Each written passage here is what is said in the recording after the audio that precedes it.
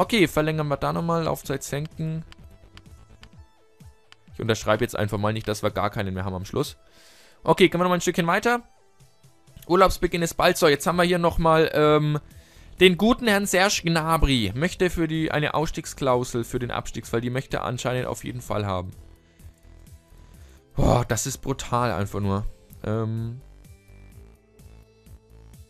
wirst einige Male spielen. Große Zukunft. Gewähren wir ihm diese Klausel. 150 Prozent.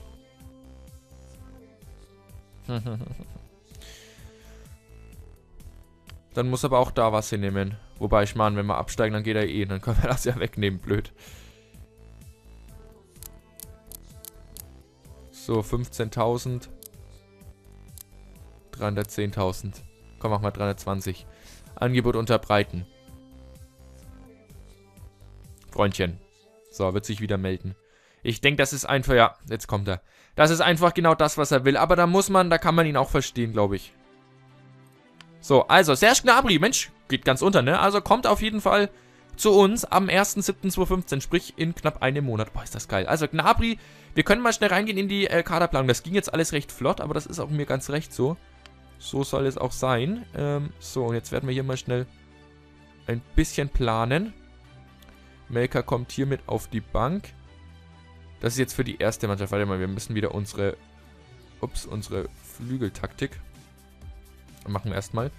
Machen wir mal Thiele, nehmen wir jetzt einfach mal vorne rein. Knoll auf links, Meier, Borschuk, Weißer auf rechts. Franz Neumann, Schäfczyk, Schwertfiger, Fährmann. Okay, so. Bülow darf hier noch mit dran. Pütt auf die Bank, Klitsch kommt irgendwo hier runter. Parker, Boden nehmen wir mal mit. Der, schaut euch das an, ist 67. Der geht richtig ab. Bin ich mal gespannt. Schwenke natürlich mit. Schwenke darf sogar gleich rein für Chefchick. So, Günther noch.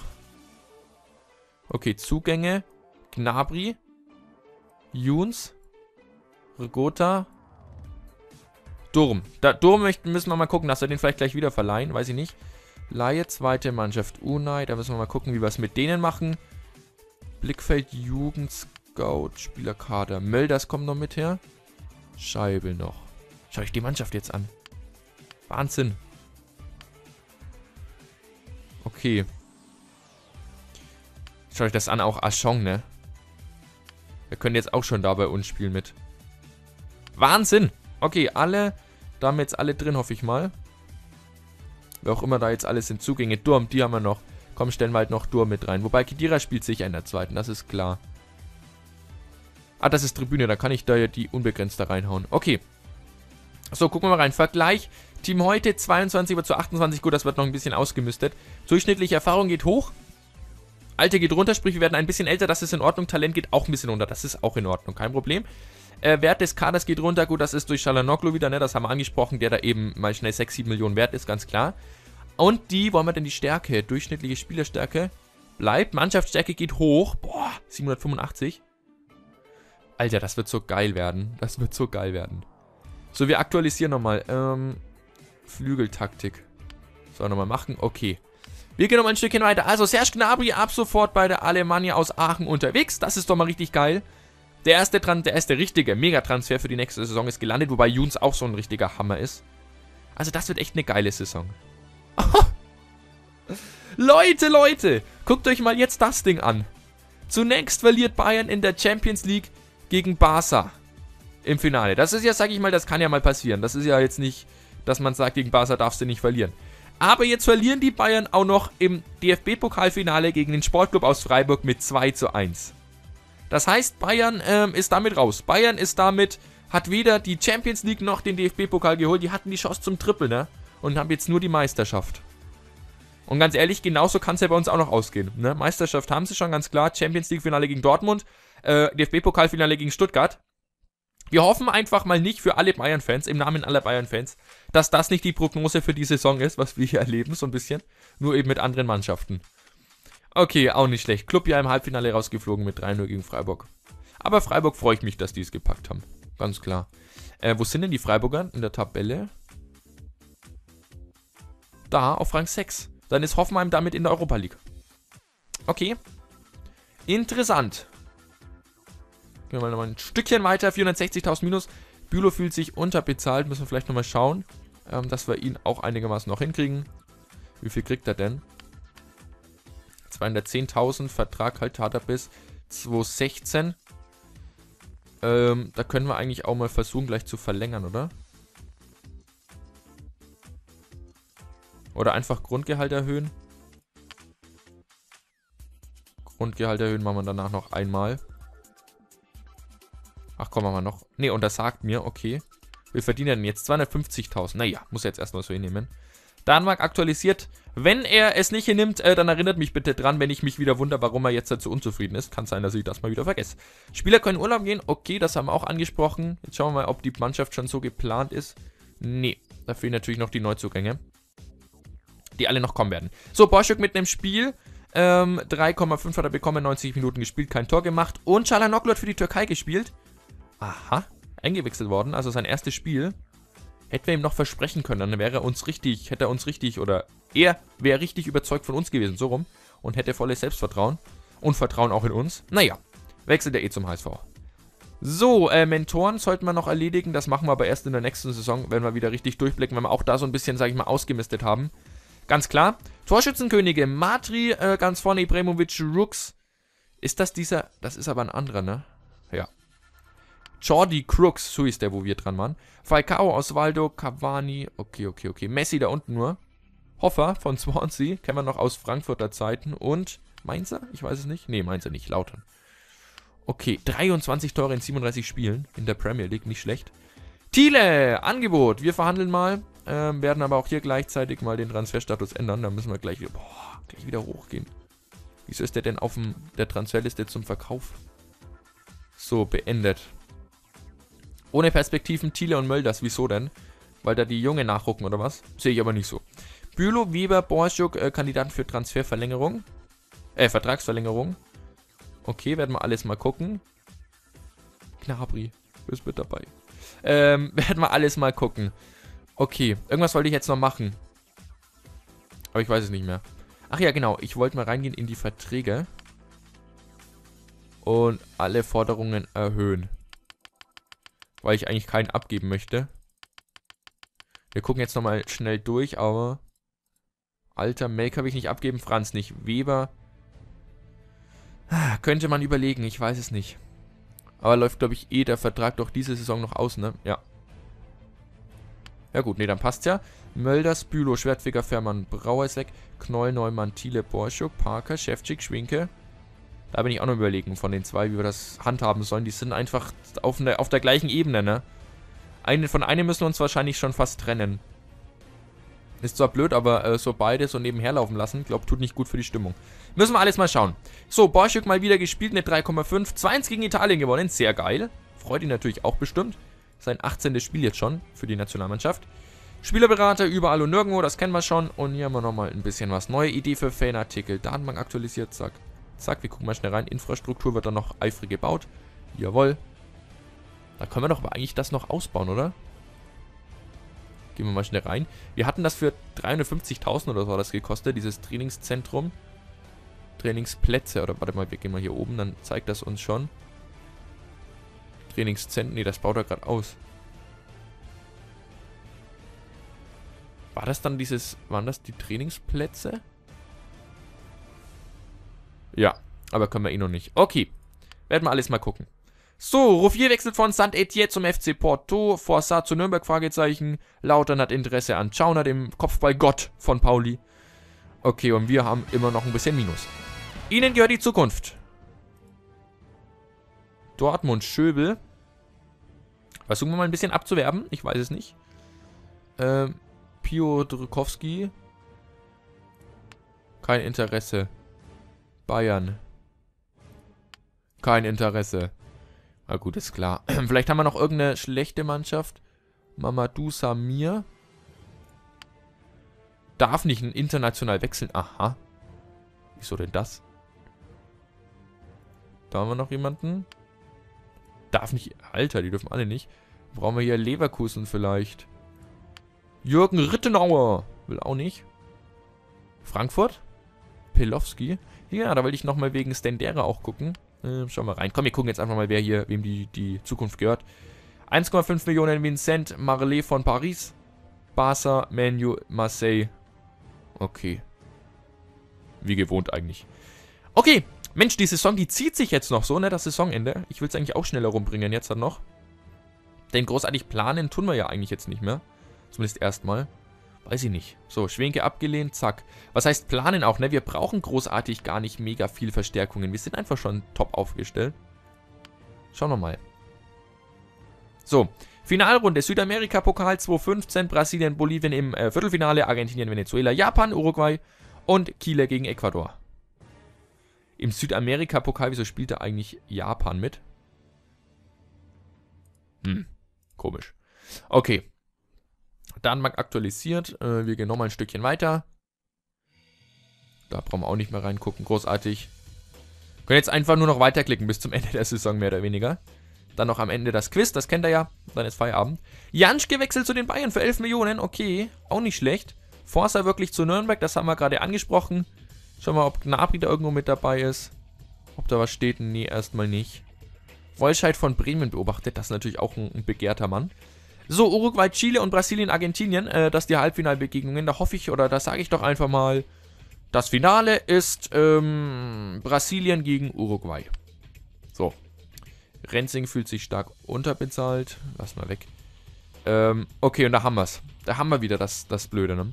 Sie haben die Lizenz für die kommende Saison nur unter der Auflage erhalten, dass sie nicht mehr Geld für Spieler ausgeben dürfen, als sie auf dem Transfermarkt auch einnehmen. Also das hängt dann wirklich doch mit dem Bargeld irgendwie zusammen. Anscheinend. Ist blöd, ne? Ich hab's irgendwie kommen sehen. Ich weiß nicht warum, ich hab's kommen sehen. Also leider hängt es doch damit zusammen und wir haben diese, diese Auflagen dann nicht so richtig erfüllen können. Aber gut, halb so wild. Ähm, da lehnen wir gleich mal ab. Warte, auch nicht. Müssen wir auch noch äh, Transferstatus ändern. Auch noch hoch. Ach, zweite Mannschaft muss ja auch noch alles hochzimmern bei den Verträgen. Okay, aber Gott sei Dank haben wir mal wieder schon so gewirtschaftet, dass wir wirklich Leute geholt haben. Ähm, beziehungsweise, dass wir wirklich, dass die, die Spieler oder unser Kader schon so steht, wie wir ihn haben wollen und nicht großartig noch Verstärkungen brauchen. Sonst stünden wir wieder blöd da. So, äh, zweite Mannschaft. Altforderungen erhöhen. Okay, und das auch nochmal erhöhen. Okay. Das gehen wir dann detailliert in der nächsten Saison an, mehr oder weniger. Okay, äh, dann gucken wir am besten einfach jetzt nochmal so ein bisschen, ob wir uns noch jemanden äh, angeln können, beziehungsweise wo wir noch jemanden brauchen. Erste Mannschaft, beziehungsweise Kaderplanung ist, glaube ich, ein bisschen einfacher. Wo brauchen wir noch jemanden? Eigentlich halt echt nirgends, ne? Eigentlich halt echt nirgends. Das ist ja nicht das Pro ist ja kein Problem, aber ist halt komisch, ne? Dass du echt eigentlich nirgendwo einen brauchst. Wir gehen mal rein. Ähm, realistische Transfers und... Aber Vereinslos gibt es da jetzt jemanden? Wahrscheinlich aber immer noch nicht. Nee, wäre auch Blödsinn. Das nehmen wir nochmal weg. So. Ähm, realistische Transfers. Zack. Beziehungsweise machen wir mal Talent. Renzing, Metzelder, Del Pierre, Iracek, Baumjohann. José Lu, Contento auf links. Okay.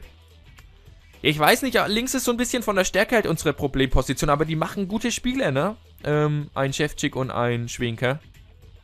Wir können ja mal nur nach linken Verteidigern mal suchen zum Spaß. Lell. Wartet mal, wir machen auch mal hier nur beste Position. So. Nach Stärke. Chris Löwe von Dortmund. Ja, das wäre natürlich schon nochmal eine richtige Verstärkung. Halt natürlich nur als Laie jetzt erstmal gedacht. Wir können ja mal gucken, ähm... Äh, ich meine, hier Dortmund, ob der bei denen überhaupt spielt. Der gute Mann. Rodriguez haben die dann nämlich schon mal zum Beispiel. Und Schmelzer, ja gut, dann wird er nicht spielen. Noch. Will ihn nicht abgeben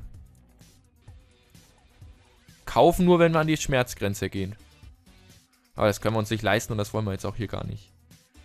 Okay, also das geht schon mal nicht. Er wäre sicherlich cool gewesen. Wollt schon zu alt. Der hier war auch noch von euch ähm, umgarnt. Pliazikias, oder wie auch ausgesprochen wird. Müssten wir erst nochmal scouten. Ab ins Blickfeld, Spieler scouten. Nächsten Spieler beobachten. Äh, nächstes Spiel braucht er nicht beobachten. Hallo? Ja. Hoffentlich macht er das jetzt.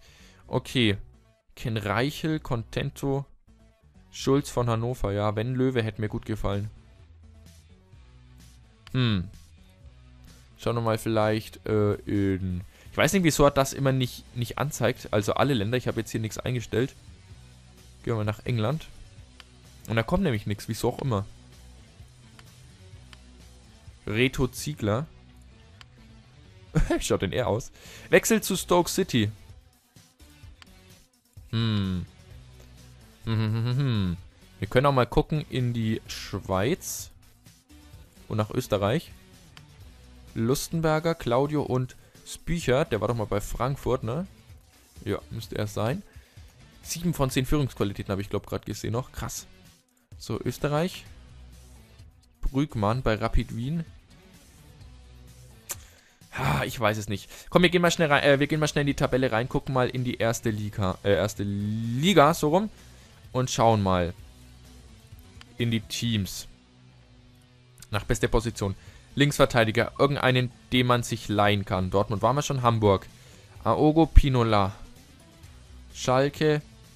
Da ist wieder der Ansaldi Taylor. Bremen Schmitz. Lukas Schmitz. Fünf von zehn Führungsqualitäten. Da gucke ich ja auch gerade mal so ein bisschen drauf. Oliver Sorg. Na gut, das kannst du vergessen. 77. Ähm, Bravheit, Hanlon. Leverkusen, wen haben die denn? Cutlets? Fuchs. Und irgend so ein Griechen. Äh, Contento, Chipka, Rodriguez. Hannover hat Schulz und Panda. Gladbach, Wendt und Fabian Johnson, Stuttgart. Ach, ich weiß es nicht. Ich weiß es nicht. Wen hat denn Fürth? Barber. So, ja auch noch so ein Talent. Weiß nicht, wie er im FM ist. Hildebrand, okay. Ich weiß es nicht, ob ich noch jemanden da holen soll. Junior Diaz, Frankfurt, wen haben die denn noch? Naja. Rode spielt da immer noch bei Frankfurt. Wäre auch geil, ne? Aber kannst ja knicken. Gut, die steigen ab, von daher könntest du ein bisschen Glück haben, dass da einer kommt, aber nicht so einer. Nee, glaube ich, macht wenig Sinn. Macht wenig Sinn. Wir gehen noch mal ein Stückchen weiter. So, Argentinien, Uruguay, naja, fast. Und Brasilien, Chile oder Chile im, im der Finalrunde, im Spiel um Platz 3 oder was, ich weiß es nicht. Werden wir mal reingucken. So, Hofmann ist auf der Transferliste jetzt. Da müssen wir der wäre auch mega nice, ne? Werden wir alles nochmal schnell angucken. So. Zack, Angebot für Schwanau abgelehnt. Sie lagen richtig. Sie hatten ihren Spieler in den Nicht-Abstieg äh, angekündigt. Genauso ist es eingetroffen. Das äh, ausgegebene Saisonziel auch zu erreichen. Haben wir sogar übertroffen. Gewinnen noch hinzu. Wer nicht fit ist, spielt nicht. Hat gestimmt. Ne, spielte doch. Äh, hat ein bisschen gelitten. Okay, Disziplin weiter hoch. Äh, gewinnen Vertrauen. Und Hofmann auf der Transferliste. Von 60. Aber guckt euch an, was wir da bieten müssten. So viel haben wir nie. Nürnberg auch im Gespräch bei ihm. Das wird alleine da schon brutal werden. Spielertausch geht ja wieder nicht. Mhm. Wie lange hat er denn noch Vertrag? Bis zu 17. Oh, er wäre auch geil, ne? Okay.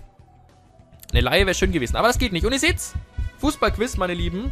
Gehen wir mal rein. Je besser sie im wirklichen Test... Oh, kann ich nicht lesen. Wie weit kommen wir? Weiß gar nicht, was war denn das weiteste, was wir gekommen sind? Keine Ahnung. 14 Fragen sollen wir beantworten. Äh, das sollten wir auch hinkriegen, zumindest ein paar. Welches dieser Teams war in dieser Saison in die Bundesliga aufgestiegen? Äh, in dieser Saison Frankfurt nicht, Stuttgart nicht, Nürnberg nicht, dann muss es Fürth gewesen sein. Nürnberg? Ach ja, stimmt. Oh. Na, ging ja gleich richtig toll los. Okay, stimmt ja natürlich. Die haben ja sogar gespielt dann. Blöd, ich war jetzt halt wieder natürlich nicht im FM, sondern in, in unserem Jahr. Und da war es natürlich Fürth. Egal. Okay. So schnell kann der Spaß vorbei sein. Was haben wir hier noch? Alles auch nichts weiter Interessantes. Mannschaften haben wir angeschaut. Brasilien gewinnt 2-0 gegen Chile in dem Spiel. Und dann kommt noch das andere. Was haben wir hier? Gibt es noch einen brutalen Transfer? In die Bundesliga vielleicht auch irgendjemand? Nö, Debuchy, äh, Arsenal hat Interesse an Mathieu Debuchy. Luschek zu Gladbach. Steven Defour zu Lazio Rom und Kyle Norton zu, äh, von Stoke City beobachtet. Okay, Europa EKG, wer die meisten Spiele gemacht? Manchester City, Joe Hart 65 Stück. Alter, Lutz. Das ist brutal. Tottenham 60 sind wir natürlich nicht dabei. Die Bayern 54. Wieso nur so wenig eigentlich? Diesmal noch überall im Finale. Ja gut, ähm, in England hast du ja natürlich auch noch vier Spiele mehr. Plus League Cup und so. Ist klar. Wenn der dazu zählt, keine Ahnung. Okay. So, Scouting abgeschlossen. Von ihm hier. Auf Stufe 10 jetzt. Wäre ein richtiger Allrounder nochmal. 5 von 10 Führungsqualitäten Deutsch. Kann er auch. Vertragsende 2,15. Also kriegen wir ja ablösefrei, wenn. Hm, hm, hm. Ich weiß es nicht.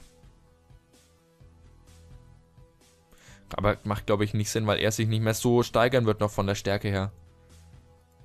Jugendspieler erreichen Trainingsziel. Okay, Abstiegsprämie 126.000 und nochmal 15.000. Krass. Okay. Gehen wir nochmal ein Stückchen weiter. Und Uruguay gewinnt das Ding. Sehr schön. Den Südamerika-Pokal 2015 gegen Argentinien mit 1 zu 0. Ach, das freut uns doch. So, und Jendrisek wird der beste Spieler im, äh, wo sind wir denn? Im Juni. Auch nicht schlecht. Also wirklich krass, ne? Hier haben wir es. Die Bayern verlieren im Pokalfinale gegen Freiburg mit 2-1. Mann, Mann, Mann. Hätte, glaube ich, so auch keiner geglaubt. So, was haben wir hier? Da sind wir leider nicht. Das wäre jetzt geil gewesen, wenn wir damit dabei wären irgendwo. Mal gucken wir rein. Kommt keine deutsche Mannschaft mit dabei. Villarreal, ja. Villarreal ist dabei. Lech Posen und die hier, ähm, ja. Alytus. Irgendwo auch immer die herkommen. Aus Litauen. Okay. IKT, waren ganz schöne Kaliber mit dabei. Nicht schlecht. So, Laie läuft aus, das haben wir gerade gesehen. Und der ein oder andere sollte noch zurückkommen, ähm, den wir verliehen haben. Und dann ist eigentlich die Saison schon fast vorüber, ne? Die dritte Saison mit Aachen. Gleich ist es soweit. Wir sind schon so ein bisschen auf dem Rutsch in die nächste Saison rüber. Ich glaube, wir müssen wieder die DFB-Pokal erste Runde Auslosung wieder mit reinnehmen in die, in die Saison noch weil man sonst anders mit dem Laden nicht hinkriegt. Werden wir sehen. Also, erste Mannschaft, vierter Platz sollten wir schaffen. Ne, unteres Mittelfeld sollten wir schaffen. Vierter sind wir geworden. Natürlich überragend. In der zweiten Runde im DFB-Pokal an Dortmund gescheitert, war nicht weiter schlimm. Versteht, denke ich, auch hier der Vorstand. Wenn du Dortmund da gelost, äh, zugelost bekommen kriegst, ist das schwierig. Äh, Spieler, bester ist Schwertfeger. Tore Mölders und Knoll mit den Vorlagen. Knoll auch ganz wichtig, ne? Äh, Finanzergebnis, das ist immer brutal. Ne? Das ist jetzt minus 3 Millionen, wo wir, wie gesagt, ich weiß nicht, woran es liegt. Denn unsere Budgets sind eingehalten worden. Keine Ahnung. 69% Auslastung, 14 Neuzugänge, ähm, feststehende Zugänge zur neuen Saison 5, Anzahl Abgänge 19, feststehende Abgänge 9, beste Entwicklung Scheibel, zwei Jugendspieler wurden für die aktuelle Saison mit einem Profivertrag ausgestattet, genau. So, äh, da haben wir natürlich auch dasselbe, Renzing, Keule, Schumacher. Das ist gleich geblieben, das ist ja alles noch von der ersten übernommen. Okay, Budgets alle okay, ähm, 51 Punkte. Schaut euch das an. Das sind wir überall okay, ne? Und stehen trotzdem im Minus. Und weil hier der Vorstand irgendwie Kacke gebaut hat, können wir dann nicht äh, uns Spieler kaufen. Blöd, blöd, blöd. So, älteste Melka, Joker, Parker. 16 Einwechslungen, 7 Tore. Das ist schon brutal. Das ist richtig brutal. Tops und Flops, bester Sturm, bestes Heimteam war Lautern. Und wir sind leider nicht dabei. Schlechtester Sturm und schlechteste Abwehr gleich mal Sandhausen, auch nicht schlecht. Und wir, wie gesagt, nirgends mit dabei. Feste Team Erfurt und die steigen als letzter ab. Da ist auch was schief gelaufen. Wenn du als letzter absteigst und die fährste, äh, fährste Mannschaft bist. Hm. Okay, Saisonanalyse. Schlechter als der Tabellenplatz ist aussagt, negatives Finanzergebnis. Wobei wir hier dafür nichts können. Wie gesagt, ich, ich verstehe es nicht. Außer, dass wir noch mehr auf unsere Budgets achten. Aber wenn uns das Budget gegeben wird, dass wir so viel ausgeben können und wir sogar trotzdem letztendlich, wir sehen es ja hier, überall im positiven Sinn. Ich weiß es nicht warum. So, taktisch äh, Team verbessert, Reserve verbessert, Jugendabteilung verbessert, bessere Mitarbeiter, tolle Stimmung, taktisch extrem verbessert, Glück mit Verletzungen, Budgets alle eingehalten, Sponsoreinnahmen. Hier haben wir Budgets eingehalten und negatives Finanzergebnis. Toll. Topspieler haben lange Verträge, Zugänge, Sponsoreinnahmen verbessert. Na, perfekt. So, und jetzt lädt's langsam. Wir können noch mal ein bisschen quatschen, noch mal ein bisschen drüber nachdenken, wie die Saison so war. Ich denke mal, der vierte Platz an sich, wie gesagt, überragend.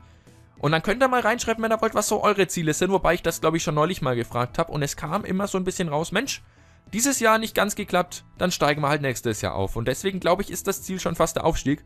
Ich weiß nicht, wie es der Vorstand sieht, bin ich mal echt gespannt, ähm, aber es könnte durchaus sein, dass wir aufsteigen sollten. So, Fernsehgelder werden verteilt. Gucken wir mal rein, was wir so gekriegt haben. Äh, 4 Millionen und 2, sprich 6 Millionen knapp insgesamt. Ja, bisschen mehr, ist doch in Ordnung, passt. Saisonzusammenfassung äh, Champions League gewinnt Barca, Europa League Milan, internationale Supercup Real und die FIFA Club Weltmeisterschaft ebenfalls Real Madrid. Ähm, Meister haben wir schon angeguckt, ne? Wartet mal, nicht. Doch, hier? Ne, Auf- und Absteiger nur. Bin ich blöd? Ah, ne, hier haben wir es doch. Ähm, aber alles ein bisschen hier durcheinander. Brauchen wir nicht. Ach, das ist nochmal äh, hier sortiert nach allem. Ah, ich verstehe. Ligapokal gewinnt immerhin Manchester United, Pokalsieger Man City und den Titel Arsenal. Also schön aufgeteilt alles. So, Auf- und Absteiger. Ähm, Wolfsburg, das sind jetzt die Aufsteiger. Wolfsburg 2, Bremen 2, Hoffenheim 2 und Schalke 2 steigt in die dritte Liga auf. Äh, Pauli und Rostock steigen in die Bundesliga auf. Und Augsburg, Berlin und Lautern in die erste. Okay. Das haben wir auch mitbekommen. Sandhausen den runter, genau. Okay, Jugendarbeit. Barcelona immer noch die beste, ganz klar. Das haben wir ja auch, denke ich mal, so erwartet. Deutschland ist hier mit Bremen, äh, wobei wir da auch immer gar nicht so schlecht mit dabei waren, ne? Das war auch immer ganz nett.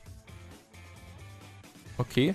Ligaentwicklung. Ähm, die durchschnittliche Mannschaftsstärke der Liga blieb unverändert. Der Punktewert des Landes in der 5-Jahres-Wertung blieb unverändert, also 0%.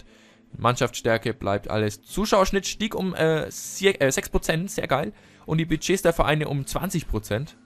Also da wird sich nochmal ein bisschen was entwickeln für die nächste Saison. Das ist aber alles nur die Bundesliga. Oh, Budget sank. Dafür geht das alles hoch. Fernsehgelder, Zuschauer und Sponsoren. Sehr schön. So, Rangliste sind auf Rang 3, England auf Rang 1, Portugal auf der 2 und die Top 11, oh, da haben wir ein paar. Gareth Bale aus dem FIFA Let's Play kennen wir ihn natürlich im linken Mittelfeld von den Tottenham Hotspurs, Montolivo, Thiago, Pastore, Raphael, Ramsey, wieso auch immer Ramsey da hinten in der Verteidigung spielt. Hat null äh, irgendwas mit einem Innenverteidiger am Hut, aber egal. Ähm, Fazio wahrscheinlich ja auch nicht. Doch, er schon. Dann haben wir noch auf links, wen haben wir auf links gehabt? Ivanovic, Paulsen, Nasri vorne drin und im Tor Moja von Getafe. Okay, also 11 des Tages, äh, 11 des Jahres 2015 und jetzt wird weitergeladen und weitergeladen und weitergeladen. Und ihr seht's, das müssen wir noch mit reinnehmen in diese Saison, nämlich die Auslosung des DFB-Pokals in der ersten Runde. Ich bin gespannt. Einige sind wieder mit dabei. Ähm, gegen wen geht's denn nun ran? Wie machen wir es denn? Machen wir es schnell oder machen wir es langsam? Komm, wir machen wieder die ersten drei Begegnungen langsam. Und wenn wir da nicht dabei sind, schnell. Hoffentlich natürlich erstmal ein einfacher Gegner. Osnabrück-Bochum ist sicherlich schon mal eine geile Begegnung. Da geht schon mal zur Sache. Burghausen, pass auf, die spielen gegen Haching. Gegen Unterhaching. Ne, gegen Stuttgart, okay. Wird auch nicht so einfach für Stuttgart, aber natürlich trotzdem der klare Favorit. Jetzt kommt Haching. Da können wir gerne gegen spielen. Das wäre auf jeden Fall machbar. Gegen Augsburg. Okay, dann würde ich sagen, machen wir schnell. Tun wir nicht lange rum. Und gucken an, gegen wen es geht. Hoffentlich nicht gegen den Guten. Gegen den VfR Aalen. Das wird nicht einfach werden. Das wird nicht einfach, aber natürlich machbar, äh, sind der Favorit. Hamburg gegen Pauli, das Derby. In der ersten Runde. Wahnsinn. Wahrscheinlich noch Nürnberg gegen Fürth oder so. Wo haben wir es denn? Fürth gegen Darmstadt. Der Club, wo ist denn der Club? Hier gegen Erfurt. Aber Hamburg-Pauli ist brutal. Die Bayern gegen Wien Wiesbaden. Wo ist denn der Titelverteidiger? Wo ist Freiburg? Die müssen gegen Trier ran. Okay, Gladbach-Rostock. Eieiei. Okay, Wolfsburg-Ingolstadt, auch geil. Mal gucken. Äh, mal gucken, wie viele äh, Favoriten rausfliegen. Ist natürlich auch die Sache, ne? Ganz klar. So, Saisonbeginn 15-16, das nehmen wir noch mit und dann, glaube ich, ist erstmal Feierabend. Oder nee, wir müssen, glaube ich, noch äh, unsere Ziele einstellen und so. Werden wir alles sehen. So, das kennen wir aber alles, da brauchen wir nicht großartig mit reinschauen. Ähm, wer spielt denn für Deutschland? Freiburg, Bremen, Hoffenheim in der Europa League und Bayern, Dortmund, Hamburg, Schalke in der Champions League. Aber haben wir ja alles schon, wie gesagt, zuvor angeguckt, von daher passt das. Ihr merkt, ähm, so langsam aber sicher, die Saison neigt sich dem Ende zu. Wir lassen etwas hinter uns, was wirklich richtig geil war in der Saison. Ich glaube, es war auch äh, letztendlich die letzte, äh, die, die, längste Saison aller Zeiten, oder? Wir müssen, ich muss mal gucken, wie lange äh, ich für die Saison jetzt gebraucht hat an Spielzeit. Im Gegensatz zu den anderen Playlists. Muss ich mal gucken. So, und ihr habt das. Aufstieg. Hier ist er mittendrin. Relegation erreichen ist das Mindestziel jetzt hat. Das machen wir auch erstmal, glaube ich. Ähm, erster, zweiter oder dritter zu werden dann. Okay. So, das Präsidium, oder machen wir erst? Komm, wir machen erstmal die Ziele und danach das hier. Nationaler Pokal, dritte Runde ist die Frage. Können wir eigentlich lassen, glaube ich, dritte Runde, das passt. Ja. Also, die Ziele für die kommende Saison, für die vierte Saison mit Aachen. Aufstieg bzw. Relegation erreichen und dann natürlich auch die Relegation gewinnen, ist klar. Das ist das Ziel und im DFB-Pokal in die dritte Runde zu kommen. In der dritten waren wir noch nicht. Ich glaube, wir waren in der ersten. Äh, sind wir mal, oder im ersten Spiel ausgeschieden, dann gegen Dortmund, in der zweiten Runde ausgeschieden. Jetzt sollen wir in die dritte kommen. Also, es steigert sich. Hoffen wir mal, dass wir das schaffen. Fernsehgelder 8,3 Millionen, ähm, Sponsoren 5,3, Eintrittskarten 6,2, alles die erwarteten Einnahmen. Kontostand sollte dann bei 8,9 liegen, da bin ich mal gespannt. Präsidium behält 12% des Budgets zunächst in der Reserve. Sie können bis zu 30% jedes Budgets auf andere Budgets verteilen. Wegen der Lizenzauflagen dürfen Sie in diesem Jahr nur Geld für Transfers ausgeben, das Sie durch Spielverkäufe, Spielerverkäufe eingenommen haben. Durch den Verlust der vorigen Saison ist das finanzielle Vertrauen des Vorstands um minus 5 gesunken. Ich kann doch nichts dafür. 146.000 des letztjährigen Infrastrukturbudgets wurden für diese Saison übernommen. Sehr schön. Also, Relegation, dritte Runde, DFB-Pokal. Und damit würde ich fast sagen, äh, beenden wir erstmal die Saison, beenden wir die Aufnahme. Der letzte Part in der Playlist der dritten Saison ist damit erstmal vorbei. Mir hat es richtig viel Bock gemacht, äh, die Saison zu spielen. Ihr seht, wir haben hier mega viele Nachrichten, die wir angehen werden. Alles dann in der nächsten Playlist, in der nächsten, äh, im nächsten Part, in der nächsten Saison. Mir hat es richtig, richtig viel Spaß gemacht. Wenn es euch auch so geht, würde ich mich freuen, wenn ihr einen Daumen nach oben geben würdet. Und wenn ihr mehr sehen wollt, dann lasst doch am besten ein Abo da und verpasst keine Folge. Und wir verabschieden uns und hoffen, dass es eine richtig, richtig geile Saison wird, dass wir richtig viel erreichen können, dass alle unsere Ziele in Erfüllung gehen.